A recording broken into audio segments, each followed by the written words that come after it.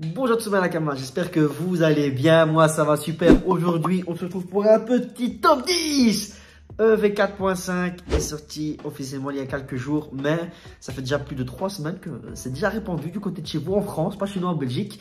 Mais voilà, on va faire un petit top 10 des prix. Vous allez me dire, Zach, qu'est-ce que tu racontes? La série vient de sortir, les prix vont chuter. Patientez, on va, je vais vous montrer le top 10 niveau prix et on va en discuter pourquoi je fais ce top 10 maintenant et vous verrez un peu plus clair dans ce que je vais vous proposer.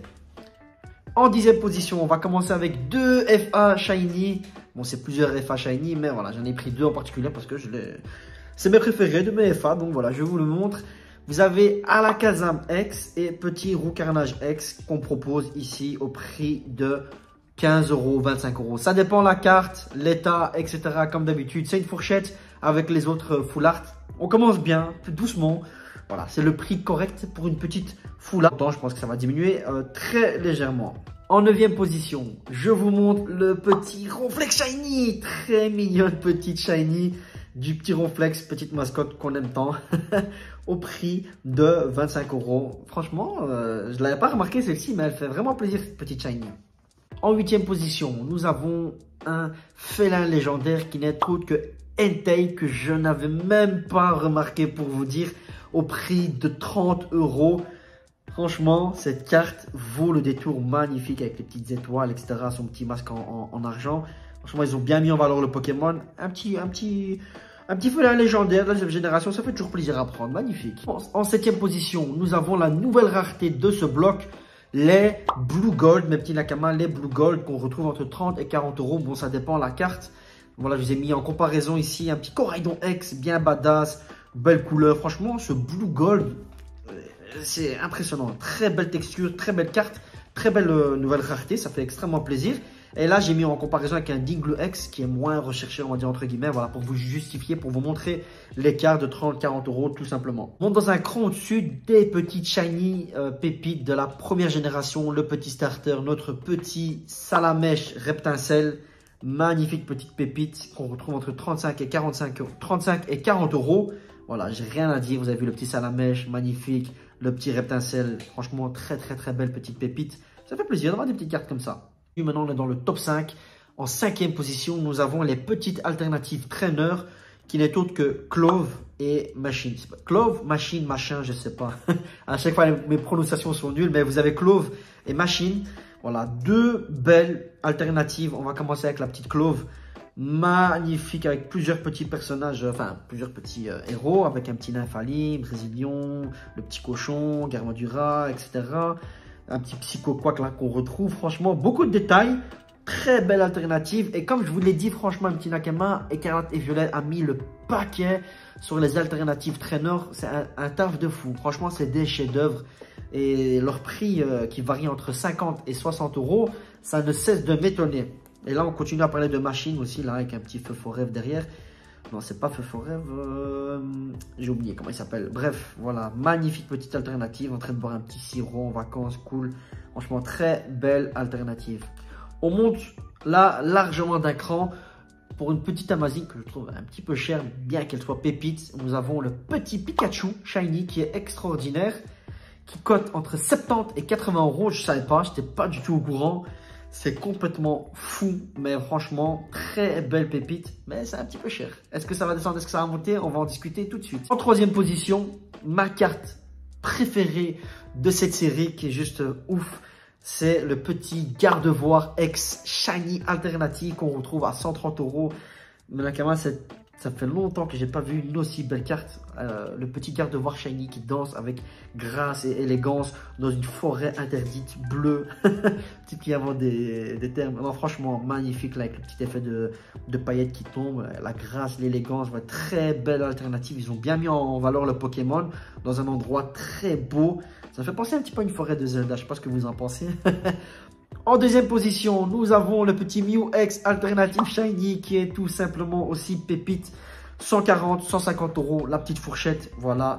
C'est la deuxième pépite. Elle est extraordinaire parce que c'était une alternative au très spécifique. Un peu dessin enfantin, etc. Et puis on voit que Mew est aisément euh, très cool dans sa petite bulle. Mew, on le met souvent dans une bulle. Là, je sais pas si vous vous rappelez du premier Pokémon Snap. Je sais plus, euh, c'est Pokémon Snap, bref, le premier.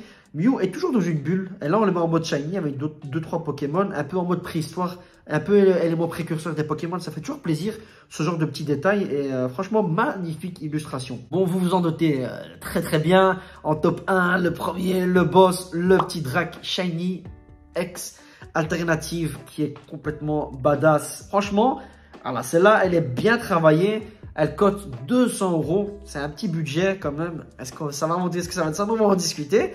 Je vous tiens au jus. Mais en tout cas, magnifique. Euh, et donc là, on va supposer qu'il sort d'une grotte terra cristal. Il éventre la galerie. Vous voyez ce que je veux dire? Il pousse les, cristaux là. Il, vient montrer qu'il est là. Bon, la couronne, je suis pas fan. Faut enlever cette couronne, s'il vous plaît. Ça va pas du tout. Mais voilà, belle couleur. Euh, belle illustration. On dirait un petit peu euh, le côté obscur de Dracofeu. Je sais pas si vous voyez ce que je veux dire. Un petit peu comme dans Spider-Man. Vous voyez quand euh, un petit le monstre comme ça, il devient méchant. Franchement, belle alternative. Valentin Nakama, le top 10. Pourquoi je vous parle de ce petit top 10 Tout simplement parce que je pense que c'est intéressant de faire une comparaison euh, un petit peu avant la sortie, pendant la sortie et ensuite l'après. C'est-à-dire d'ici trois semaines, on peut refaire un petit top 10 de Écarlate et Violette pour voir la différence des prix. Pourquoi je fais, cette, pourquoi je fais cette, ce petit top 10 un petit peu aussitôt C'est pour vous montrer que parfois, euh, beaucoup de monde vont vous dire « Ouais, mais quand une série sort, moi, le premier, hein, quand une série sort, il faut patienter. » C'est sûr, il faut patienter. Quand une série sort, on patiente, les prix vont forcément descendre dû aux ouvertures. Mais là, petit Nakama, ce qui pourrait être entre guillemets inquiétant, c'est déjà la hype qui est autour de, tous, de toute cette série. Mais deuxièmement, c'est le stock. Il n'y a pas beaucoup de stock. Euh, euh, avait annoncé qu'ils allaient cut et ils ont cut. Donc euh, les professionnels ont été, été affirmatifs à, ce niveau-là. Ils ont été vraiment beaucoup cut. Et on peut supposer que les prix vont légèrement chuter, mais ils vont augmenter.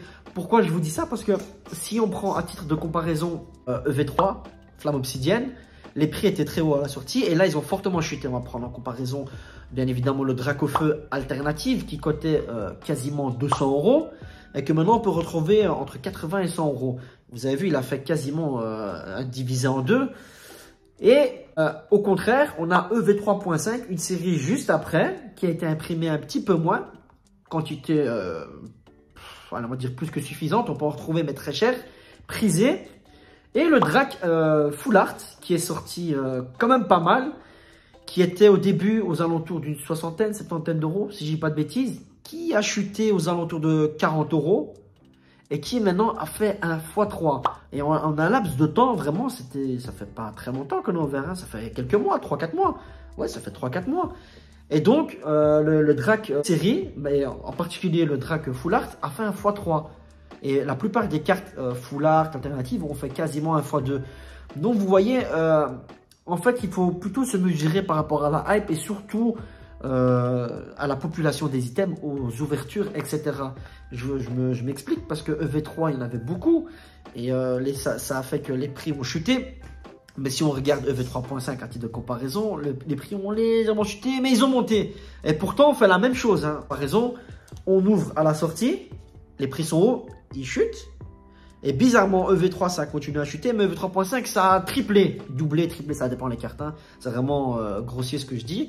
Mais voilà, quand une, une, série sort, on n'achète pas, on patiente. Mais pas trop patienter, vaut mieux avoir l'œil, bien surveiller euh, etc.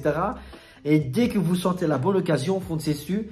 Parce que je ne pense pas, je ne pense pas que les cartes vont diminuer fortement. Il y aura une légère tendance à diminuer, c'est certain. Mais je pense que le pic sera très haut, surtout par rapport au Shiny, comme euh, destiné radieuse. Pourquoi? Voilà, nous sommes déjà EV1, EV2, EV3, EV3.5, EV4, EV4.5. Nous sommes à la sixième série, pas de Shiny. Il n'y a pas de Shiny de cette envergure euh, en mode petite carte comme dans Destinée Radieuse, ce qui nous propose donc EV4.5 euh, destiné à Paldea. Et c'est pour ça qu'il faut faire attention. Et vos petites shiny, mettez-les de côté parce que je pense qu'elles vont prendre euh, pas mal en valeur, même euh, les alternatives shiny. Bref, cette série, on n'a pas terminé. Je vous propose de vous retrouver d'ici 2 à 3 semaines pour faire un petit topo, voir un peu ce qu'il en est. En tout cas, ça promet. Il y a beaucoup d'items qui vont commencer encore à arriver mais en quantité suffisante ou pas? Est-ce qu'on en aura? Est-ce qu'on aura des bundles? Est-ce qu'on aura nos coffrets en quantité? Est-ce qu'on fera beaucoup d'ouvertures? Ça promet, je pense qu'il y aura une, vraiment euh, une petite guerre par rapport à cette série pour ceux qui voudront la finir ou pour ceux qui voudront faire un business, entre guillemets. Je sais pas, y a, franchement, beaucoup, les prix sont quand même déjà assez hauts pour une série qui vient de sortir comparé à d'autres. Et je vois mal la, série décoter fortement. Je pense qu'elle va continuer à remonter pas mal. On en discute d'ici 2-3 semaines. Voilà, petit Nakama, euh, pour les petites indications, parce que j'ai beaucoup de messages par rapport au V4.5. Moi, je vous l'ai dit, le Master 7, c'est pas pour moi. On se fait un petit kiff, on présente la collection ensemble, on, regarde, on ouvre un petit peu pour se faire kiffer. Bien sûr, on ouvre des boosters parce qu'on kiffe ça. Mais voilà, euh, ne dépensez pas trop. V5 aussi va arriver et ça va, être, ça va être aussi prometteur. Donc, je vous tiens au courant pour l'évolution des codes. J'espère que ça vous aura plu. Merci, prenez soin de vous. Ciao